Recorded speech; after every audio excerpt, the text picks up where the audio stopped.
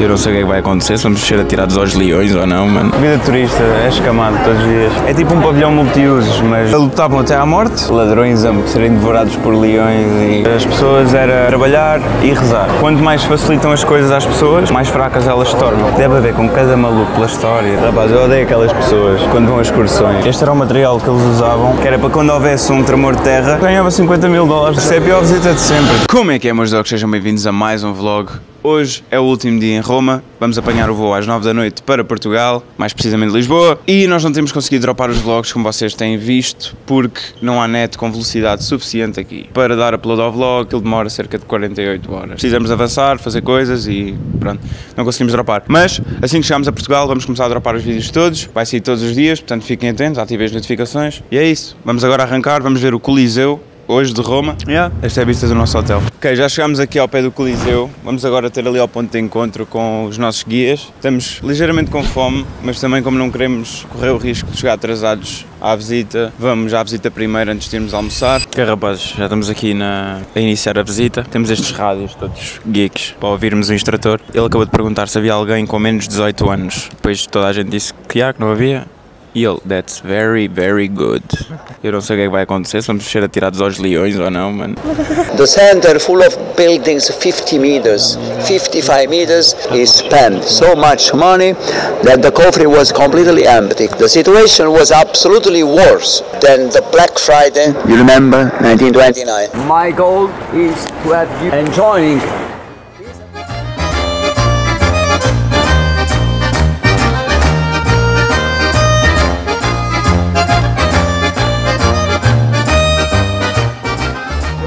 mais uma de scam.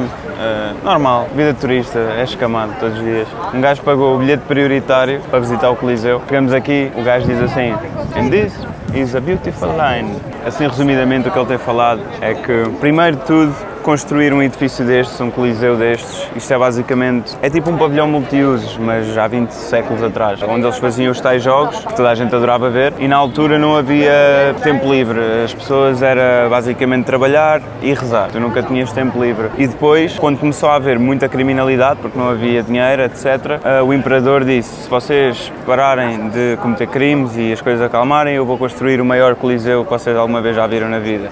E isto para eles era um arranha-céus, não é? Isto é gigante. Isto para eles era tipo, eles ficavam a olhar para isto tipo, what the f do género. Tipo Burj Khalifa. Tipo, chegas ao Burj Khalifa hoje em dia e ficas, what, what?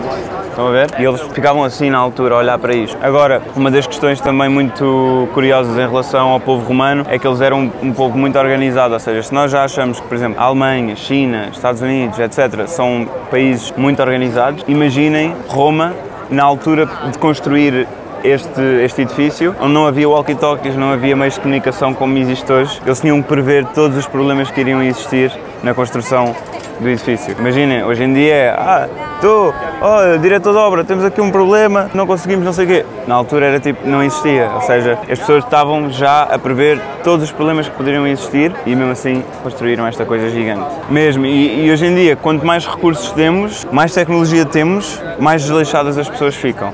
E isto só tem um significado, que é subentendido. Quanto mais facilitam as coisas às pessoas, mais fracas elas se tornam, psicologicamente e fisicamente. Rapaz, eu odeio aquelas pessoas quando vão a excursões ou estão a ter aulas, universidade, cursos.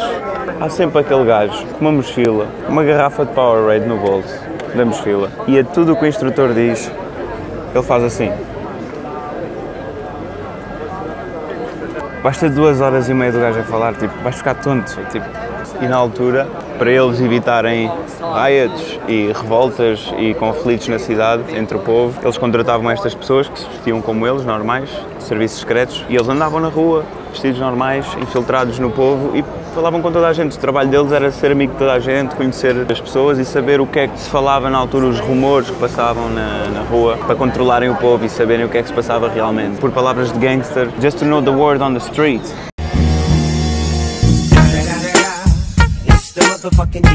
Não sei se dá para ver daqui, quer dizer, dá para ver um bocadinho. O pessoal revista está aqui mesmo pesado, vamos ver. Parece mesmo que estás a entrar num avião. Porquê? Minha exposição. Deve haver com cada maluco pela história, pessoal mesmo louco da cabeça, que, por exemplo, o objetivo deles, ou o sonho deles é ir ali, matar-se uns aos outros, ou morrerem no átrio, estás a ver? morrerem no Coliseu de Roma, Yeah. esfaqueados e há pessoal mesmo atrofiado. Ou então, pronto, bombas também, claro, destruir propriedade histórica, mas eu acho que também é por isto. É mais para os terroristas, claro, que querem explodir esta merda.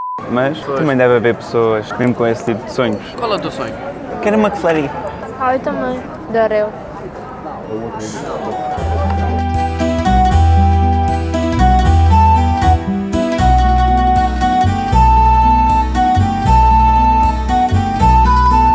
Boas rapazes, bem, vamos agora ser revistados para podermos entrar realmente no, no Coliseu. Vamos lá. Ia cair. Vês? Tens que deixar águas aqui. Bem rapazes, este era o material que eles usavam para as paredes do, do campo principal da arena, porque tinha uma acústica melhor. Ou seja, os atores e as pessoas quando falavam alto tinham uma acústica melhor, ou seja, ouviam-se mais alto. Isto aqui refletia o som.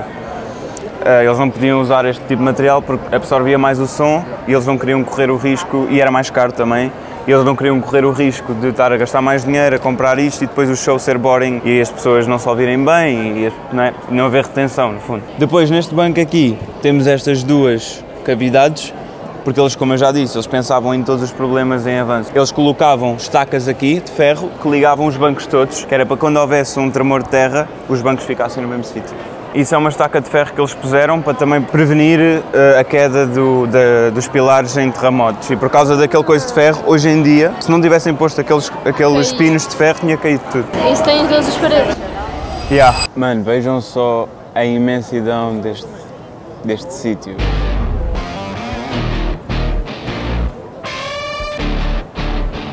É de loucos, tipo, imagina, estar mesmo aqui e estar no sítio onde as pessoas estiveram a olhar para ladrões a serem devorados por leões e gladiadores a lutarem até à morte. Imagina ouvir o barulho do estádio, né?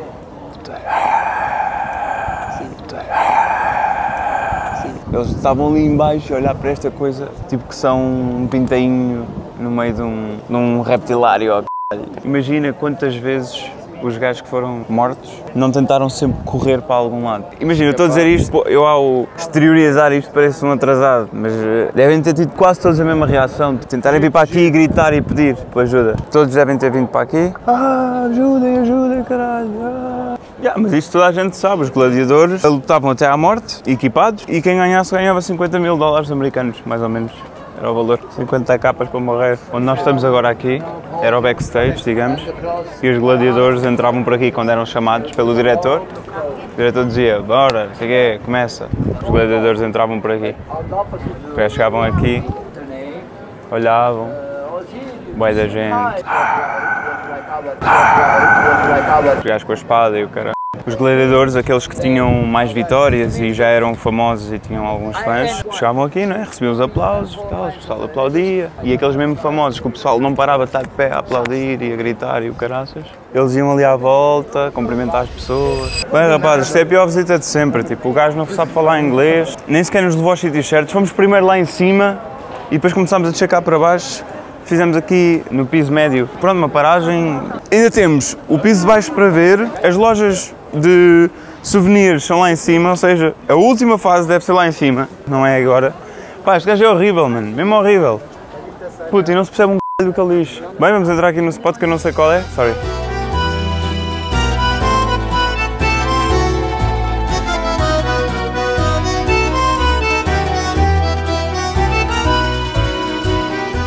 Yeah, esta área aqui é bem bonita porque veem que eles preservaram as coisas. Tudo bem, tens aí montes de cenas tipo sinais e corrimões e não sei o quê. Mas isto, tirando as árvores, tirando os corrimões, imaginares,